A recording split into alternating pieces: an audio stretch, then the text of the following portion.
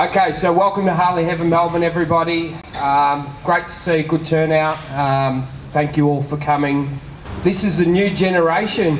Um, you know, I know a lot of people are saying that how far are they going to, to take it, Harley Davidson? Well, it's here, it's here in the flesh. Um, you know, one thing they'll never change, they'll have their traditional bikes, they'll always have their traditional V twins, but you know, times are changing, the market's changing, and we need to open up to a new market. And Harley have been developing this for about four years now. There's been a lot, a lot of development go into it. Um, still a little bit of unknown, um, but uh, I'll try to give you as much information as I can.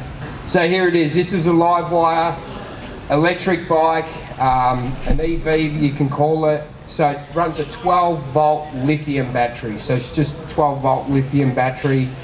Um, really cool to ride, real different. Um, I had an opportunity to ride it a couple of weeks ago, or actually a couple of months ago, around a, a racetrack in Sydney. I was absolutely blown away. I was a bit sceptical at the start.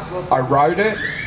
You will never ever ride anything that feels like this the power, the way it handles, it, it's just, it will blow you away. So, um, you know, all the all the really good features that, that Harley's already run, like the LED front lights, Brembo brakes, um, Showa suspension front and rear, it's all adjustable. So it's got all the good stuff. But I guess the biggest difference is, like I said, it's electric.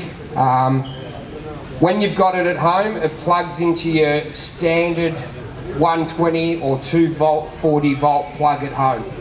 Okay, so it's the plug's under the seat, you just basically plug it into the wall and it will charge. For a full charge on a 120 or 240 volt um, plug, it's about an 11 hours, so overnight charge to get full capacity. Okay.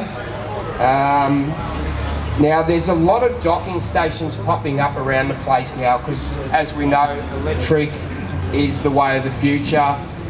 A lot of people ask, oh I don't see it. You can get apps, there's apps available out there.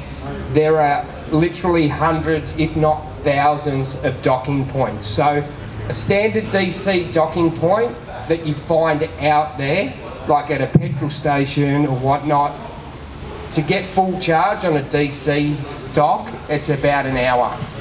So, but there's plenty around.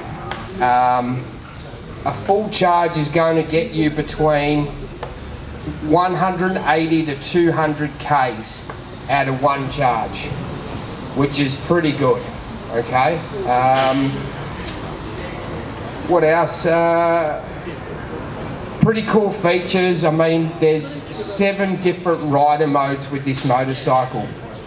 So four of them are set, so there's like a rain mode and a fast mode and all that sort of stuff. And then there's actually three modes that you can actually set yourself um, for what riding or how you want the bike to feel and handle. So you can custom that. Um, the bike produces 105 horsepower, uh, 86 foot-pounds of torque and does 0 to 100 kilometres an hour in 3 seconds, so she's pretty quick. The power in this is instant, there's no lag, okay?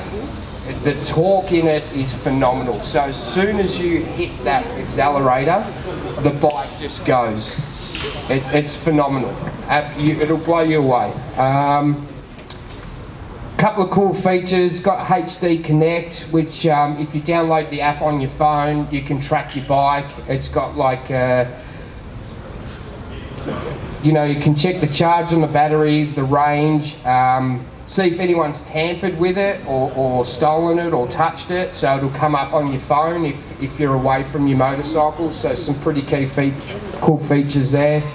It'll give you all your service reminders. Um, what else?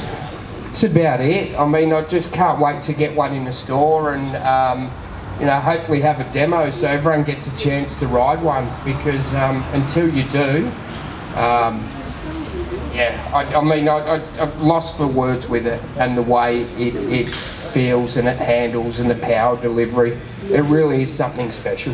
So, sorry? No. It, once once you accelerate, there's a bit of a whistle to it, and that's the other thing that takes a while to get used to. Like it's like nothing else. Yeah.